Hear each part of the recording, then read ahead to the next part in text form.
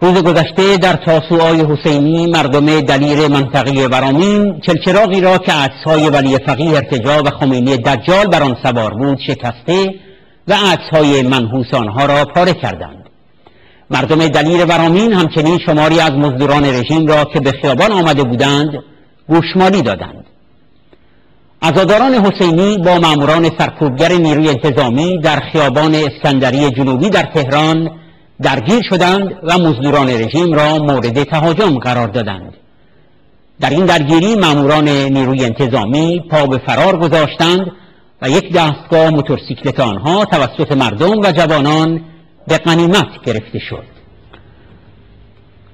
شب گذشته در اصفهان هیئت عزاداران حسینی شعار مرگ بر دیکتاتور و ابوالفضل علمدار خامنه ای رو بردار سر دادند و با ماموران سرکوبگر نیروی انتظامی درگیر شدند.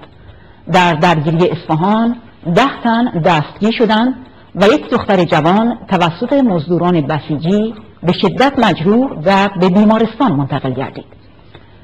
در شب آشورا در رشت مردم در خیابان طالقانی این شهر با مزدوران اطلاعات که برای مردم مزاحمت ایجاد کرده بودند درگیر شدند و شعار مرگ بر دیکتاتور و یا حسین سر دادند. یکی از مزدوران توسط مردم گوشمالی داده شد و سه از مردم در جریان این درگیری مجروح شدند. در مشهد نیز مردم در مناطق هاشمیه و وکیل شعار مرگ بر دیکتاتور سر دادند.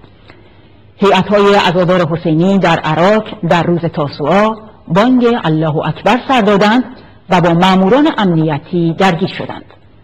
همچنین روز گذشته هیئت عزاداران دراویش در شهر کرد با ماموران سرکوبگر نیروی انتظامی درگیر شدند. به فیلمی که روی اینترنت گذاشته شده توجه فرمایید.